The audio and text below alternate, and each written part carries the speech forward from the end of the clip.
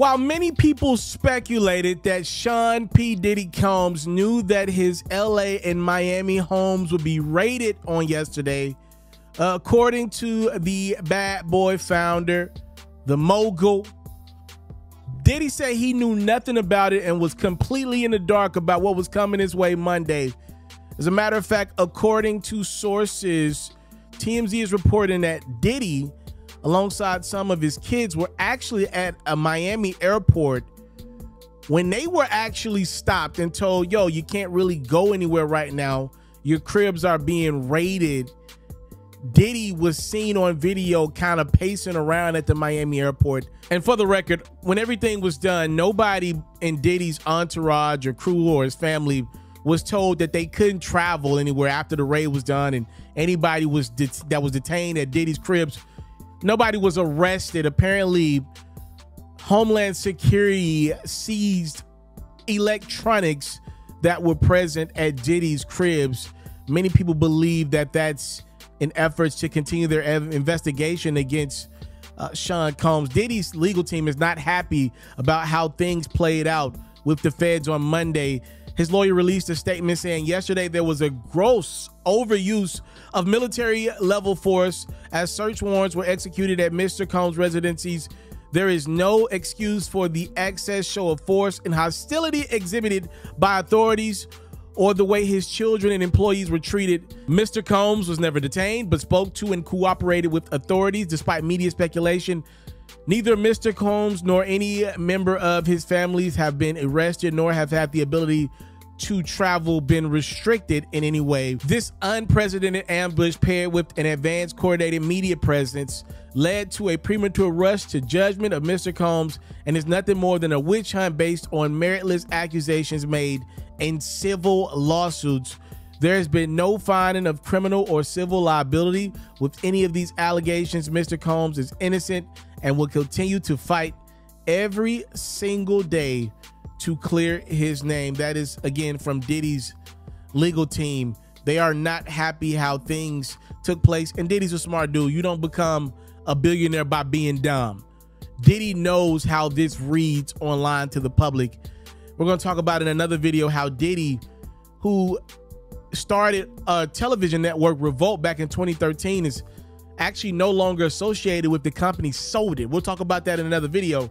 But this stuff is hurting Diddy's business and these civil suits are coming down the pipeline. You know, people who claim that they were wrong by Diddy are getting more and more confidence by the day to, to come out and speak out. And look, whatever's true, obviously this is some sick stuff that Diddy's being accused of. But there's also the possibility of people just saying, yo, I'm going to get on this ship while it's hot. Even if things were not as bad as I may perceive them to be in a suit, right now is the time to attack Diddy. And I think he sees his reputation being drugged through the mud. You want to know one of the things to me that hurts Diddy more than anything with public perception? Diddy doesn't have a fan base like that. Like I, I believe a lot of people hated on Diddy's in, in the 90s. You know, they were not happy about the deaths of Biggie and Pac. And for whatever reason, Diddy, I believe, gets caught in the middle of that you know, Diddy's not an artist per se. He's, nobody looks at him as a rapper. I know he's actually been a rapper on songs, but nobody looks at Diddy as a rapper. They look at him as an incredible producer and entrepreneur and money getter. You know, he doesn't have a fan base. Because, like, if you even look at how things played out for R. Kelly, I know he's incarcerated, but R. Kelly's got a fan base. Bill Cosby has a fan base.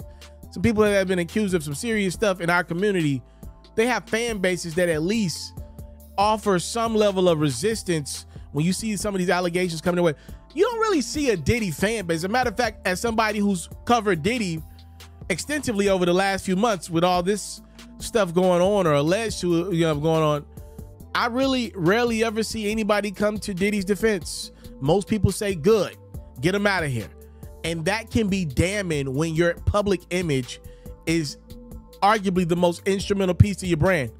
Y'all let me know. What do y'all think?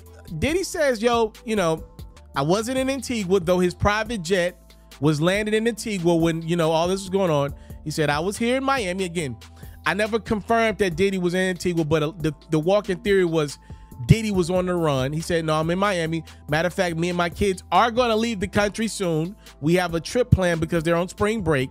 Some people will say that's cap. Again, I'm telling you what he's saying. Um, y'all let me know what do y'all think about all this? A crazy time to be Sean Diddy Combs. Time, love, and support is what your boy would never take for granted. Diddy says Homeland Security, the feds, they wronged him. By the way, they tore his crib up looking for electronic devices on Monday. I'm out. If you are like me and love flexing your NBA knowledge, you should head over to the best place to play fantasy sports.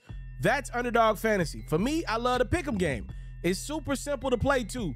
All you got to do is go to the Underdog Fantasy website or app, pick whether a player will have a higher or lower stat line for that game, get all your picks right, and you can win up to 20 times your money.